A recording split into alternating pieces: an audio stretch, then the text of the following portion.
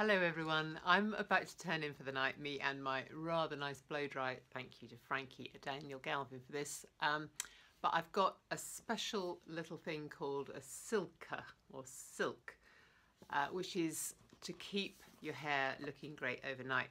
And this is a tiny turban in silk with a little knot at the front, rather stylish.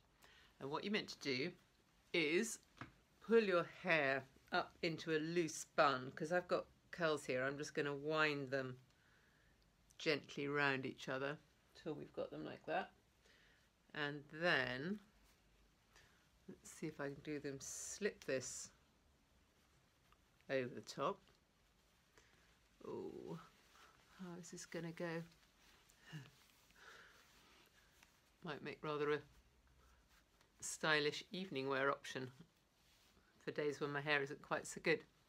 So there we go, all tucked in. Now, all I got to do is manage to sleep with this in place. The idea is that having um, the smooth silk against your hair doesn't scuff up the cuticles so it will all stay much better and be presentable in the morning. So if I can keep this on overnight, um, we'll see. Good night.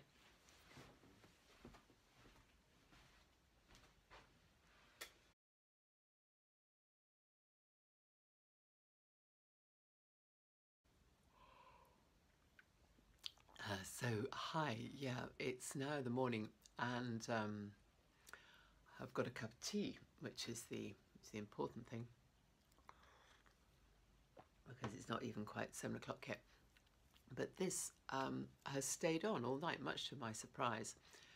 Um, I found I'd tucked it up over my ear at night, um, but it's very comfortable. Um, my husband laughed when I turned up in bed with this and uh, said politely it looked very 1930s, um, which was kind of him. And I thought, yes, it's dug into my forehead a bit, you can see there overnight, but apart from that, um, I have no complaints. And you could also pull it down, I thought, if you were on a plane and were feeling brave enough to wear this, and then you got an instant eye mask. So, looking good. And um, the reveal let's see how my hair is looking. So apart from that dent on my forehead, this looks not bad. It still feels incredibly smooth, which is um, a great thing. So I think for second day hair, yeah, this is looking pretty good. So that's the, the, the Silke wrap. And um, I'm sorry I'm not with it enough this time of morning to say very much more of that, but I think we can say this works.